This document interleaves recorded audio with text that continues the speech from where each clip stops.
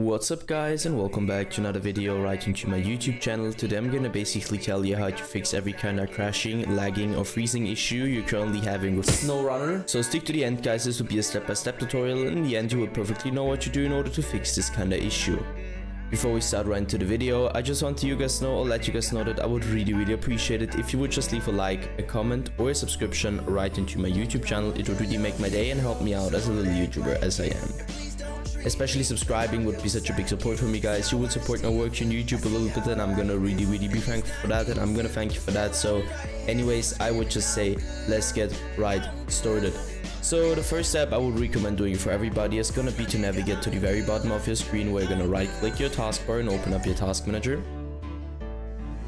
The next step is going to be to navigate to the top left corner of your screen, clicking onto processes. And once you click processes, I want you to simply end every single task which is currently running and has nothing to do with Windows, obviously. So two reasons for that. First of all, too many applications, too many background processes, too many programs, too many games running at the same time on a low end or bad PC will cause crashing, lagging or freezing on the long term because your PC can't handle that anymore.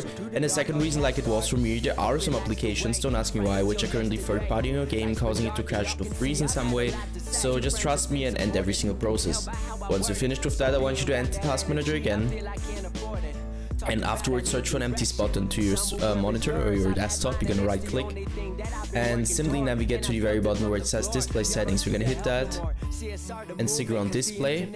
And the first step is gonna be to identify which your main monitor is. And obviously this just applies if you have more than one. So you're gonna hit identify and identify it. Once you're done with that, scroll down, go to scale and layout. I want you to change the size of text apps and other items to 100% as recommended.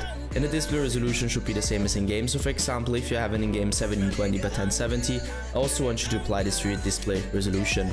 Once you're finished with that, simply end this task Navigate to the bottom left corner of your screen, click into the Windows symbol, open up your settings, navigate right onto Update and Security and stick around Windows Update. Well, I want you to click into check for updates because I know guys it's gonna sound a little bit basic, but trust me, updating every single driver you could possibly update on your PC will help you a lot of every kind of issue you're currently having and also with crashing, lagging or freezing. So just trust me and download the latest version of Windows and once you finish with that, and this task.